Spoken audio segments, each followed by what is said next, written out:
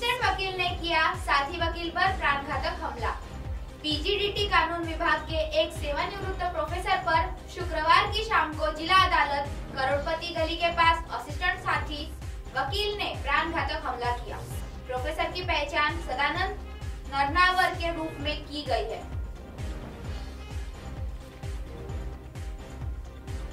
और उसकी हालत नाजुक बताई जा रही है।